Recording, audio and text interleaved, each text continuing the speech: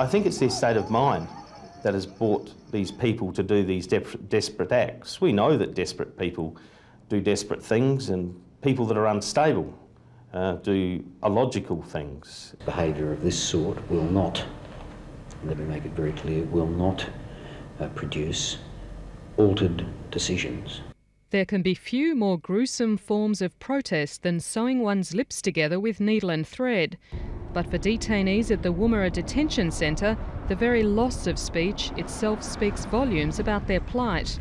I see it as um, um, a last desperate cry to be heard.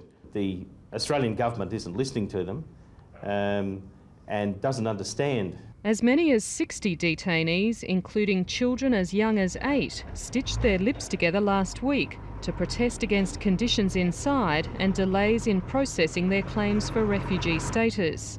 The reason for the delay, a federal government freeze on decisions for Afghan asylum claims until the situation in their country is more settled. In relation to those who are from Afghanistan, both the UNHCR and Australia uh, recognise that um, in the changed circumstances those matters need to be um, reviewed in relation to decisions. Well, obviously, the situation in Afghanistan at the moment is very complicated and is still uh, undergoing a lot of changes. What that means is that in some circumstances, it may not be very possible, uh, very obvious at the moment to determine someone's claim for refugee status. The United Nations High Commissioner for Refugees has adopted the same procedure as Australia.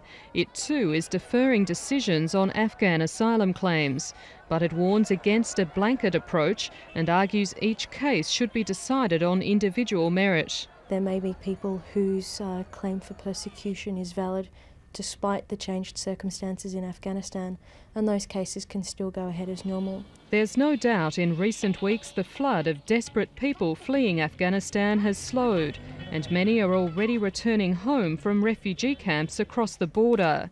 But refugee advocates say many asylum seekers will still face danger if they're forced to return to their homeland. People that uh, are sent back may very well be sent to places that no longer exist, uh, where there's no food, there's no appropriate drinking water, um, uh, where they really have very little hope of surviving. There's problems with shelter, uh, food distributions, um, providing enough health care, um, treating the malnourished children, both moderately and severely malnourished, in our feeding centres.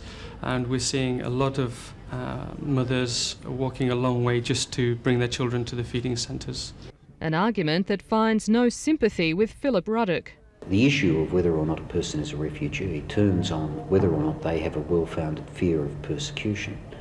Um, and um, civil disturbance, natural disaster, um, um even internal civil war, um, the fact that there are risks from mines and, and bombing, um, which uh, might incidentally hurt anybody who is there, including the millions of people who live there now, um, doesn't necessarily give rise to a legitimate claim of persecution. The whole point of uh, temporary protection visas are so that um, genuine refugees, genuine asylum seekers, can come to this country um, and live in our community for a short period of time. The visas are generally three years, so that when the situation changes in their countries, they can return there.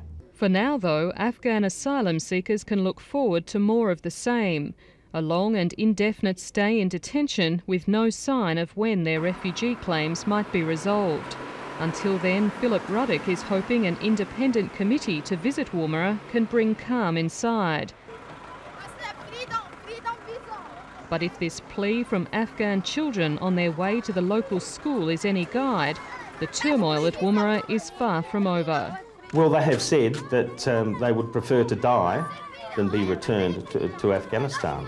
Um, all I can do is, is believe, uh, is believe those, th those threats. Um, their actions of sewing their lips together certainly makes me think that they are very, very desperate.